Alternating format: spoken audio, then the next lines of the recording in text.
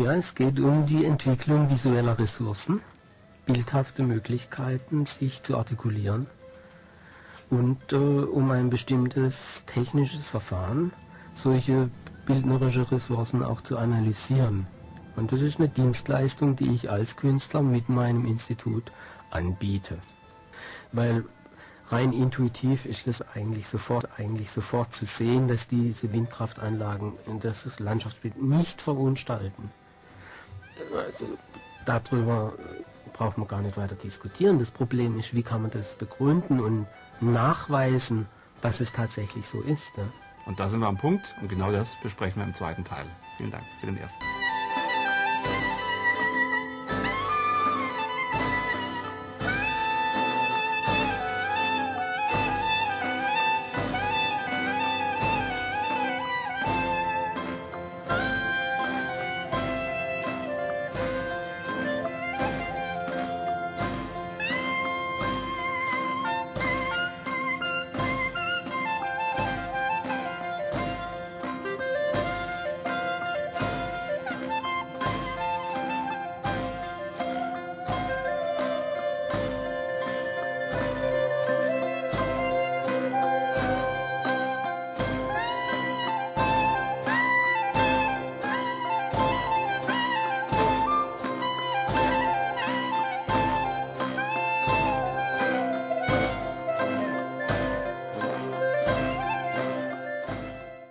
Jetzt würde mich mal interessieren, wie kann man denn sowas überhaupt beurteilen? Gibt es denn da ja, Maßgaben, Kriterien, Richtlinien? Wie geht man da vor bei so einem Gutachten?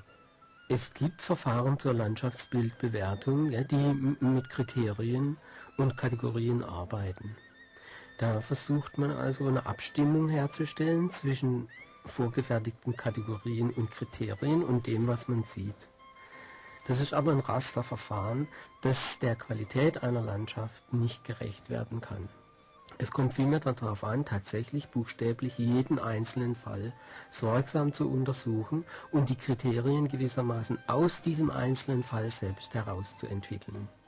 In dem Fall hieß es also genau mal zu bestimmen, ja, wie sieht denn das Landschaftsbild Schwarzwald überhaupt aus, das gegebenenfalls verunstaltet oder verschandelt sein kann. Um das zu benennen oder zu rekonstruieren, gibt es doch einige objektive Vorgaben. Zum einen ist es das, was wir tatsächlich sehen. Zum anderen gibt es Bilder und Texte zum Thema Schwarzwald, die gewissermaßen eine Vorstellung vom Schwarzwald verobjektivierend darstellen, auf die man zurückgreifen kann und die wir auch nicht ignorieren können. Und es gibt ein Wissen um den Schwarzwald, was unsere Sicht auf die Dinge mitprägt. Und das haben wir uns vorgenommen und analysiert. Können Sie da ein paar Beispiele nennen? Ja, zum Beispiel gibt es äh, unzählige Postkarten von Wassermühlen im Schwarzwald. Und es gibt auch keinen einzigen Bildband vom Schwarzwald, in dem nicht eine Wassermühle abgebildet ist. Interessanterweise ist jetzt in der Regel nicht abgebildet das Ensemble bestehend aus Wassermühle, Haus, äh, Gesindeanlage und so weiter, sondern womöglich auch nur das Wasserrad, gewissermaßen stellvertretend für die Wassermühle. Das heißt, auf diesen Bildern findet bereits eine Fokussierung auf die Technik der Wassermühlen statt. Und es wird unter Umständen noch hervorgehoben durch fotografische technische Mittel, wie zum Beispiel lange Belichtungszeit, was dann dazu führt, dass das Wasserrad verwaschen unscharf erscheint, weil es sich ja vor der Kameralinse bewegt, genauso wie das Wasser. So dass auf diesem Foto, an das ich jetzt speziell denke, der Zusammenschluss von bewegtem Wasser und bewegtem Rad in den Vordergrund gerückt wird mit bildtechnischen Mitteln. Das heißt, genau dieses Zusammenspiel von dem natürlichen Wasserlauf und der technischen Installation der Menschen, die das da gebaut haben, wird gezeigt. Also etwas, um jetzt schnell einen kurzen Sprung mhm. zu den Windkrafträdern zu machen, das ist ja genau das, was man bei sich drehenden Windkrafträdern auch sehen kann. Ja? Das Ineinandergreifen von einer Naturkraft wie dem Wind und dem technischen Gebilde der Windkrafträder. Also gewissermaßen der Schwarzwald nicht ähm, als reine Natur, sondern als Kulturlandschaft. Beispiel vielleicht auch äh, die Bauten der Bahn im Schwarzwald. Ja genau, der Schwarzwald ist natürlich mehr als bloße Natur. Der Schwarzwald ist eine Kulturlandschaft und das heißt, im Falle des Schwarzwald, es ist die Versöhnung. Dadurch zeichnet er sich geradezu aus, die Versöhnung von Natur und Kultur. Der Schwarzwald ist eine versöhnte Gestalt und wird deswegen wohl auch in vielen Büchern, die den Schwarzwald besingen und ihn umschwärmen, gewissermaßen charakterisiert als Garten oder als Paradies, ähnliche Landschaft. Ja. Und das wird dadurch gerechtfertigt, dass hier tatsächlich eine gelungene Symbiose von Natur und Kultur äh, vorliegt. Und die Windkraftanlagen zeugen genau von diesem Bemühen der Menschen. Ja. Sie sagen in dem Gutachten an einem Punkt, dass äh, man eigentlich noch einen Schritt weitergehen muss und sagen muss, dass diese beiden Anlagen geradezu ein Glücksfall für die Landschaft im Schwarzwald ja, sind. Warum? Ja, ja, ja, das ist ganz einfach, wenn man sich nämlich vergegenwärtigt, dass diese Windkraftanlagen ja gebaut wurden, weil sie technischen Nutzen bringen sollten. Das heißt, sie sind gebaut worden ganz unter technischem wirtschaftlichem Nutzenkalkül. Da hat die Ästhetik überhaupt keine Rolle gespielt bei der Bewertung des Standorts.